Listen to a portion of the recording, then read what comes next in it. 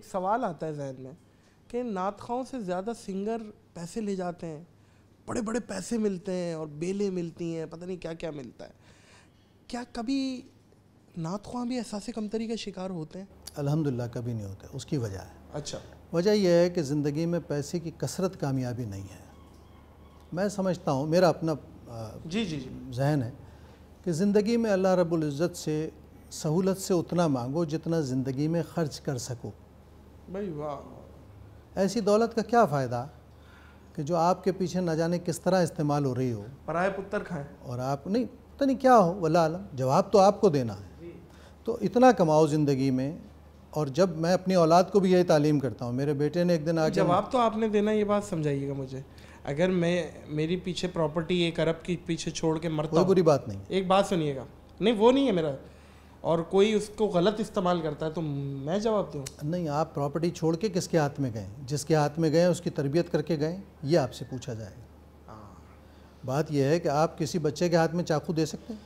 सही। इसी तरह एक बग़ैर तरबियत के किसी औलाद के हाथ में पैसा देकर जाना भी अपनी आकबत को ख़राब करने के मुतरदफ़। तो इसमें एहतियात करनी चाहिए। हम पाँच पाँच नस्लों का काम कर रहे हैं। दुनिया के हर मामले से रुखसत हो गए हैं। मैंने एक बैलेंस ज़िंदगी गुजारी अलहमदिल्ला इसलिए नहीं कह रहा हूँ कि मैं अपनी तारीफ़ कर रहा हूँ इसलिए कह रहा हूँ कि ज़िंदगी का ये रवैया बनाइए। मैंने हमेशा जॉब की। मैं टेलीफोन ऑपरेटर आपने किसी और को रखा। हाँ उसकी वजह यह थी कि याद रखिए कि मजहबी तबके को हमेशा अपना रोज़गार अलग रखना चाहिए अपने काम से। अच्छा। इससे उसमें एक खुदतमादी पैदा होती है।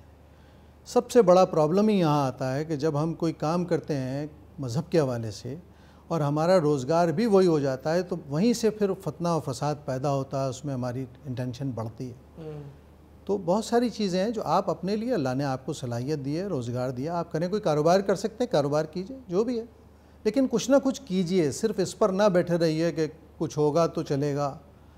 कभी ऐसा हुआ है सभी साहब कि आपको किसी ने बुलाया हो कि फला जगह पे प्रोग्राम है और वहाँ गए हो प्रोग्राम ही नहीं है और कोई ऐसा कुछ ऐसे कोई ऐसा कोई तो- फनी कोई दिलचस्प कोई यूनिक वाकई है ऐसा तो नहीं होता लेकिन ये कि बहुत इब्तदा में अब तो ज़ाहिर है कि इतनी उम्र गुजर गई है और जी, जी। लोग एहतराम भी करते हैं लेकिन शुरू में भी लोग होते हैं हर फ़िल्म में इस तरह होते थे कि वो कुछ कम कर लें कुछ ना दें कोई खामोशी से इधर उधर हो जाए तो अच्छा। हम भी सब्र शुक्र करके आ जाते थे क्योंकि हम इस बात पर यूँ समझ लीजिए बचपन से यकीन है कि जो आपको मिला है वो आपका नसीब है। हाँ। जो मिलना है उसको कोई ले जा नहीं सकता। हाँ। और जो नहीं मिलना चाहे वो किसी खराबी की वजह से नहीं मिलना वो आपके नसीब में था नहीं। था नहीं। तो अल्लाह की ज़ात पर इतमान रखिए वो आपको तना नहीं छोड़ेगा। अगर कोई खा भी गया आपका तो वो कहीं और से दे देगा आपको। हम्म, ये बहुत सीधा सीधा सा सिंपल क्वेश्चन मसला है।